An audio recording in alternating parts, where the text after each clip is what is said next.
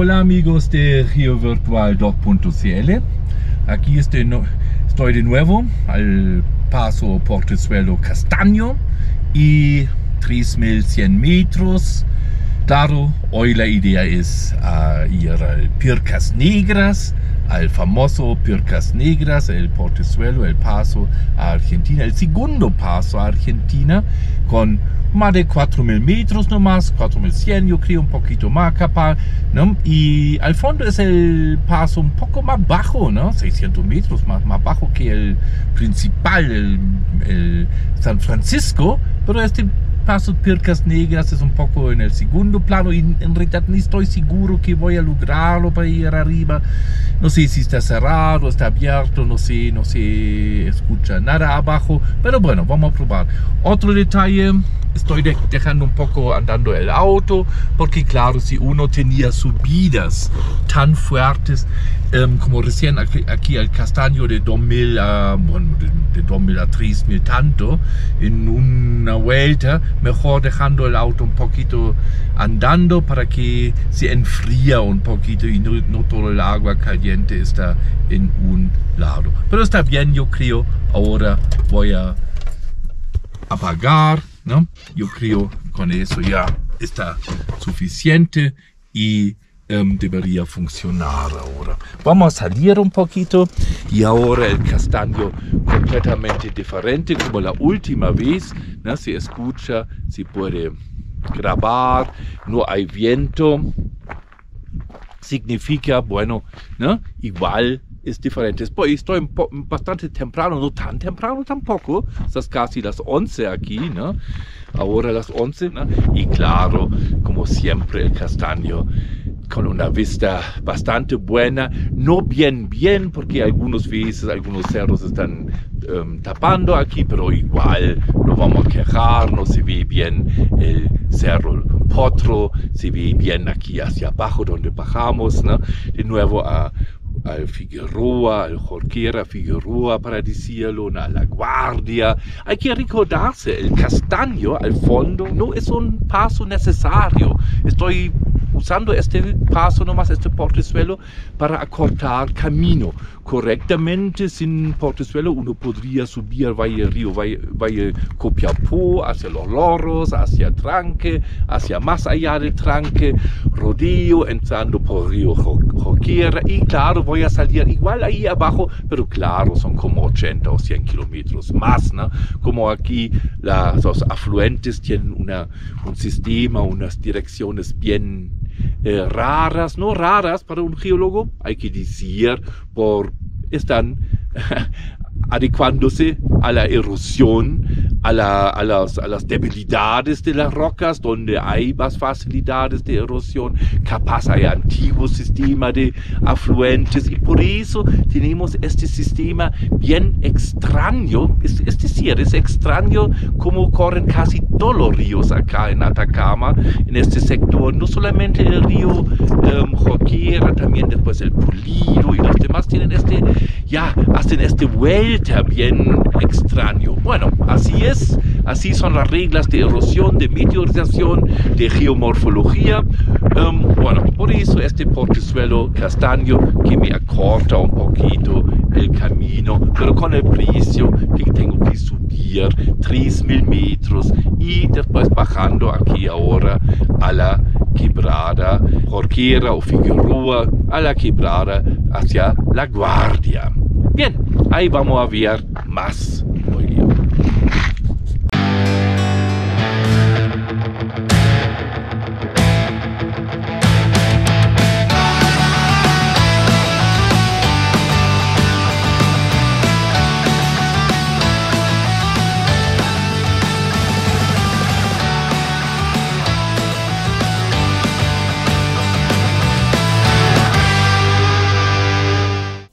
Ya estamos en camino a la confluencia Río Turbio con Río Figueroa, en el sector alto de La Guardia. En ese vídeo voy a presentar principalmente el río Turbio y en la próxima semana vamos a subir al Pircas Negras.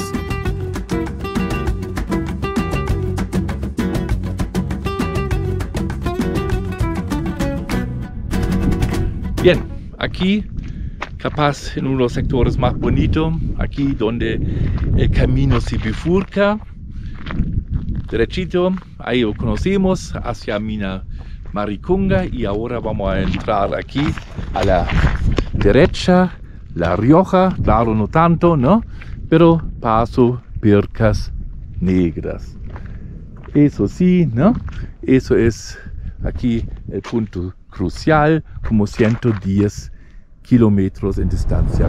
Ahí está la confluencia del río Turbio, a la derecha Turbio, y del río Figueroa, que viene derechito ahí, y claro, se nota, ¿no? Es diferente, la carga sedimentaria es diferente. Ah, hasta se ve que el río Turbio tiene una carga típica más de glacial, digamos, ¿no? de tipo de, de cielos y algo así, ¿no? la típica, um, digamos, el típico ejemplo.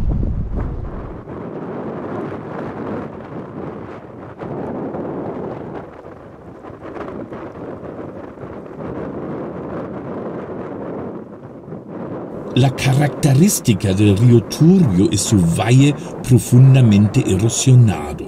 Además, la inclinación no es menor. En el tramo hasta Cachito son en promedio 1,8%. Es decir, un metro ochenta de ganancia en altitud a 100 metros de distancia. Rizo Patrón estimó el caudal del río Turbio en su trabajo de 1924 entre 600 a 960 litros por segundo. Ya, ahí vemos un meandro, este fenómeno de los ríos que hacen curvas. eso lo hacen para disminuir su pendiente. Claro, el río va hacia abajo, claro, por la gravedad, pero como la inclinación de este valle aquí es demasiado fuerte, entonces el río trata de disminuir su velocidad. Y claro, como lo hace, aumentando el camino. Aumentando el camino significa él hace curvas. Y estas curvas son bien especiales, se llaman meandros. Estas curvas producen una, en un lado erosión ahí, y con velocidades altas del agua, y en la otra parte aquí producen deposición. Aquí las eh, materiales se depositan. Y claro, se nota ya aquí en este meandro bastante bien el río trata para excavar más, más, más, más. Y claro, en un momento va a cortar su propio meandro acá. Ese meandro va a cortar en un momento, ¿no?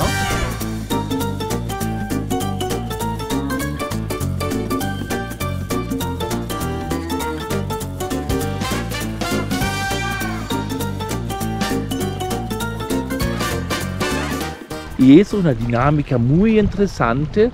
Hay diferentes tipos, eso hay que decir de estos ríos de meandros. Hay tipos de las llanuras y tipos aquí del valle. Claro, porque si uno toma este valle y lo caracteriza su pendiente, su inclinación por 10 kilómetros por kilómetro, eso, eso es brutal acá.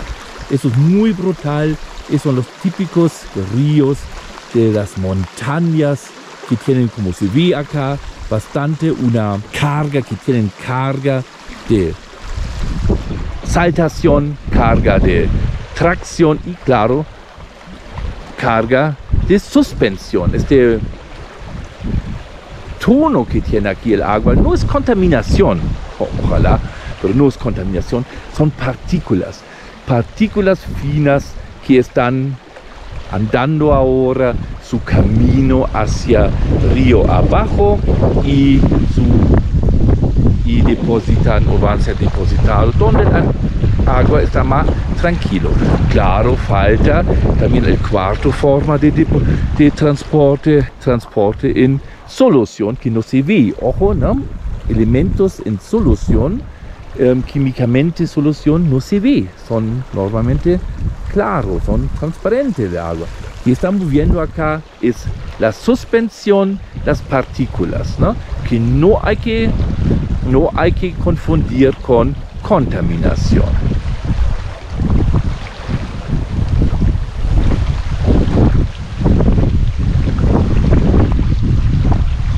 Bien, aquí donde Río Turbio, aparte del paisaje, pero impresionante, las rocas aquí, es realmente una composición impresionante. Bueno, se nota que el río Turbio era la principal capaz vía de comunicación, infraestructura histórica en tiempos pasados para Argentina. Veamos algunos, claro, y eso resulta que hay muchos refugios, muchos eh, restos, por ejemplo, antiguos senderos y cosas como así que recuerdan a esta función muy importante del río Turbio o de este sector como vía comunicacional, como, como vía, como infraestructura, la conexión entre Argentina y Chile. Estamos hablando de 1850 o antes, ¿no? después donde se usaban caballos para cruzar este cordillera aquí. Claro, la ventaja es punto de máxima altura son como um, 4100 metros, como caballo usaban en esta época, hoy día es pircas negras. Veamos, veamos un poco como que se ve.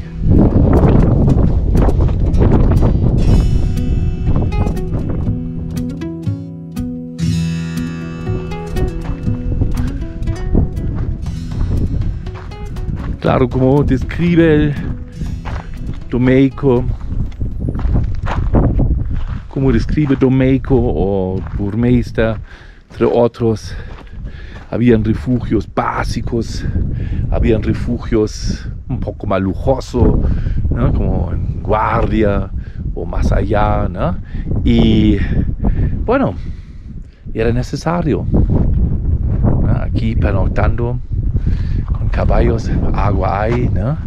Y lo otro es, aquí se ve al otro lado el sendero. El sendero se ve de repente. Tenían algunos veces son diferentes senderos que anduve un poco más arriba. Claro, tenían otras, otras eh, digamos, necesidades. El, camino en esta época no debería ser tan, tan grande como actual, tampoco tan bueno. Era un sendero. Y el sendero se ve en la otra, al otro lado de la quebrada de repente. No es más de un metro, un metro cincuenta, donde los caballos, las tropas pasaban a Argentina. Ahí veamos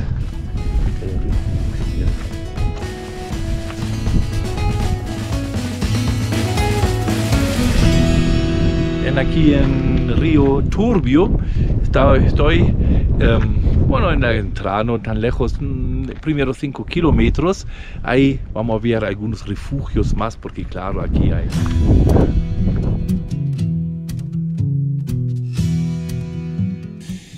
todas partes del río Turbio se ve restos de la infraestructura de los tiempos pasados, refugios, pircas y caminos históricos en varios sectores. Cabe mencionar que los viajeros bajaron aquí viniendo desde Argentina en tropas con caballos y mulas.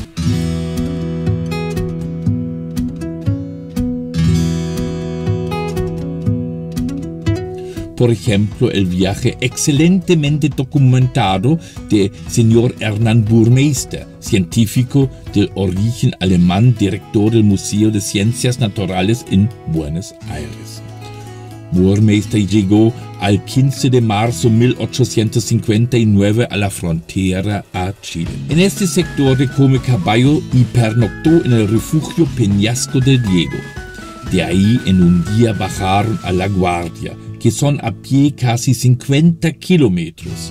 Burmeister además menciona un accidente en 1855, donde debajo del paso Come Caballo 13 personas fallecieron por un cambio climático abrupto y no lograron salvarse de acuerdo de las fuertes nevazones y temperaturas extremadamente bajas. Y Burmeister reportó que en 1859 todavía se notó bastante bien el lugar del desastre.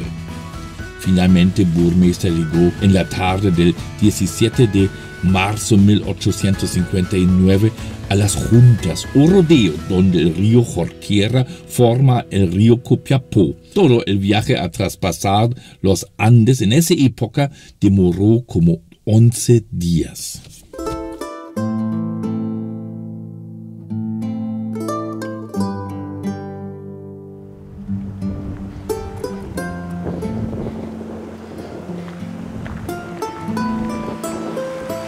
Bien,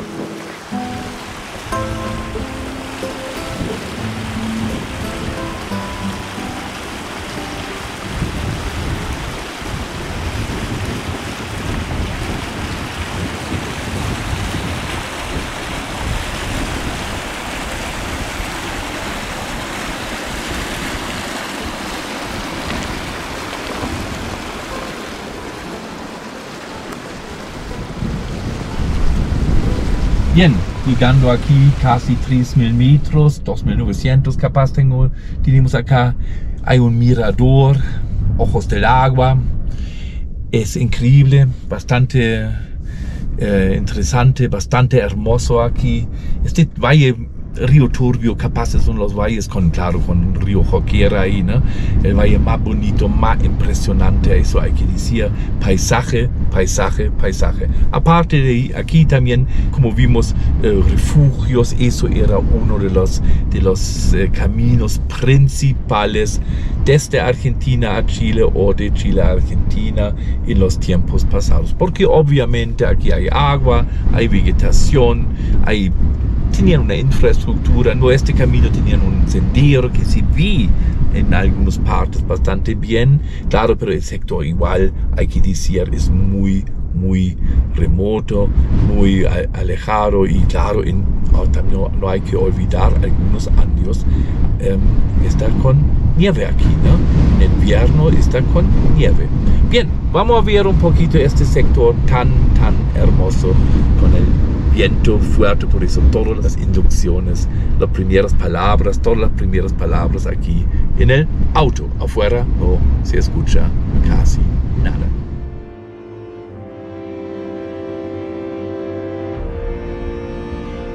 Aquí donde el sector Ojo del Agua camino a Pircas Negras, ya casi en 3.000 metros, 2.900, digamos, más o menos de altitud. Y ahí tenemos capaz el sector más hermoso, la vista más hermosa que se puede imaginarse.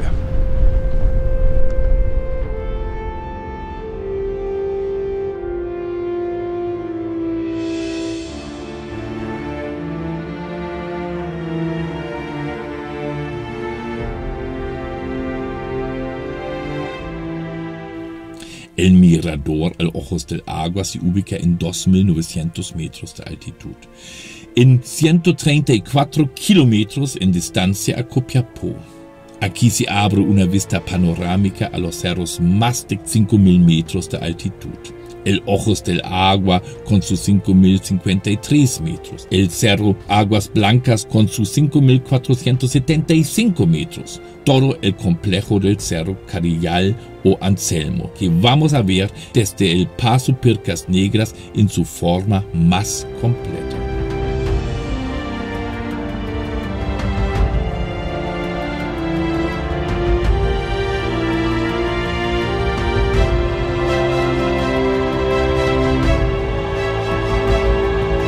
Bien, en la próxima semana vamos a subir más. Vamos a ver paisajes tan únicos, tan hermosos, que realmente es casi imposible describir eso en palabras. Ahí ojalá nos vemos la próxima semana. Chao amigos de Río Virtual 2.cl.